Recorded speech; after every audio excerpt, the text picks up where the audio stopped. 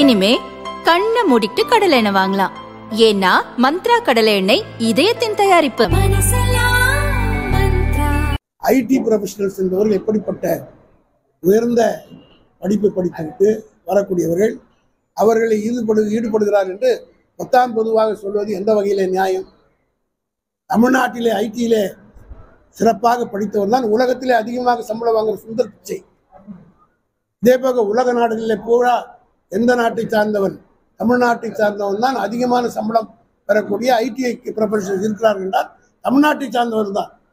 அதிலும் எங்களுடைய ஆட்சி காலத்திலே அதாவது எங்கன்னா திராவிட இயக்கத்துடைய ஆட்சி காலத்திலே படித்து பட்டம் பெற்றவர் தான் உலகம் பூரா புகழ் பெற்றிருக்கிறார்.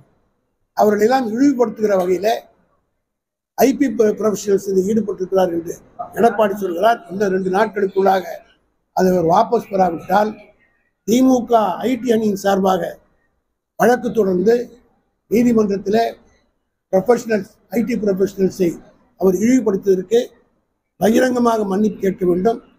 குறிப்பிட்டு யாராவது இருந்தால் பேரை சொல்லி சொல்லலாம். ஆனால் இந்த ப்ரொஃபஷனில் இருக்கிற அத்தனை பத்திரிகையாளர் யாராவது தவறு செய்த குற்றம் செய்யப்பட்டால் எல்லா பத்திரிகையாளர்களும் குற்றம் சுற்றம் சொல்ல எந்த வகையில் நியாயம்